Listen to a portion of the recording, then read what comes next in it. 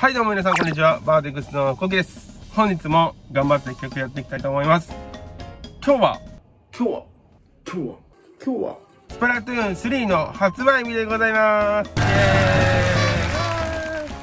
ーイ。はい。ということでですね今日はですね9月9日金曜日スプラトゥーン3の発売日になりました。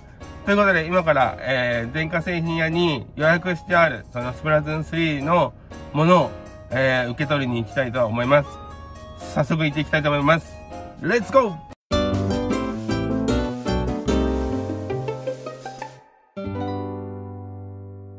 はい。ということで、えー、某家電量販店の場所の駐車場に着きました。で、今から早速なんですけど、スプラトゥーン3を取りに行きたいと思います。楽しみです。行ってきます。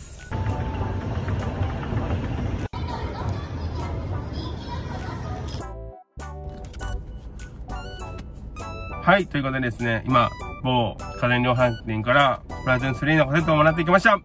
それがこちら。イエーイ。はい、こちら、スプラトゥーン3のカセットをもらってきました。やったぜ。手に入れたぜ。パッケージもかっこいいし、なんか武器とかもね、変わってて、ちょっとやりにくくなってるとか、難しくなってるって噂もありますけど、まあね、それは彼女がやることなんで、僕もちょこちょこやりますけど、彼女が主にやるっていうことなんで、はい。頑張って、レベル上げて、みんなに勝ちたいと思います。あとですね、もう一個、なんか僕たち予約特典？みたいなのがあって、こちらね、マグカップですか？エディオン、あ、言っちゃった。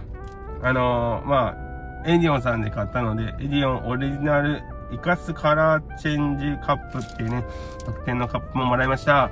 こちらもね、まあ帰って開封して、まあ今開けちゃうとね、彼女に怒られちゃうと思うんで、まあ彼女と一緒に開けて、どんなものだったかっていうものをね、発表していきたいなと思います。ということで、家に戻るぞ。